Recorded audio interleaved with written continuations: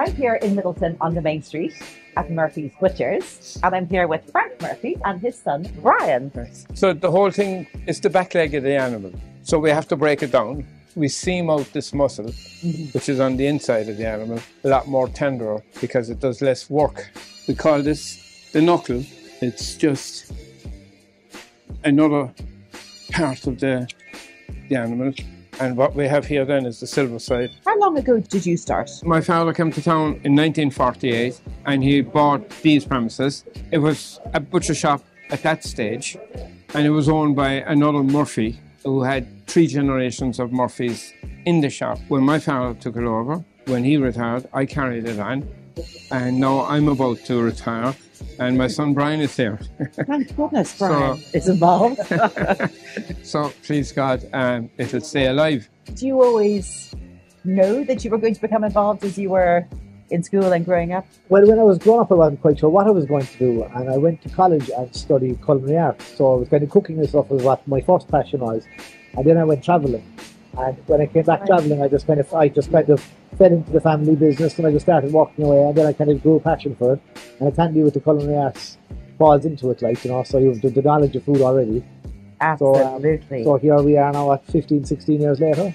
we're so lucky to have you at Ballymaloe and at the cookery school as our butcher because you also have your own abattoir, That's correct. which is getting rarer. Yeah, cattle, sheep, and pigs.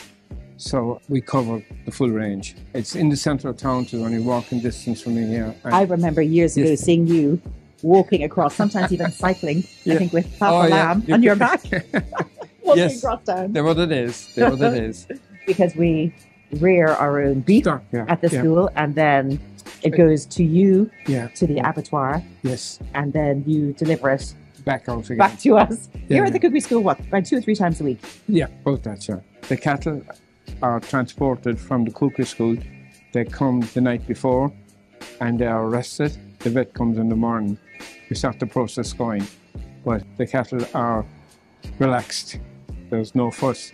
It makes for better beef. Makes for better beef. Mm. You know. It's interesting. And and you also age it Yes. for us as well. Yeah. Before before comes out before it comes back, we hang it four or five weeks. The whole thing tenderizes whilst it's aging, so it all helps in the process. just gives such a lovely flavour and tenderness. And when you see that that dark colour, it's like the The there, T-bones you know that yeah, lovely darker colour or yeah, from, from the bit of beef that I had yeah, of yours the other night. I had to cut off the end of it because it was dark and it dried Yes, out a yes, little yes, bit, yes, and yes. then it just means it's going to be even more delicious yeah. inside and just shave that little bit off. Yeah.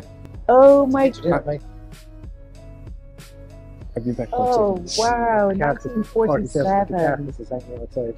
Well, it was very important in those days to hang the stock outside because people walking up and down the street studied it and looked at it and uh, said, "Oh, that looks good stock. That looks good meat." Uh, we'd go in.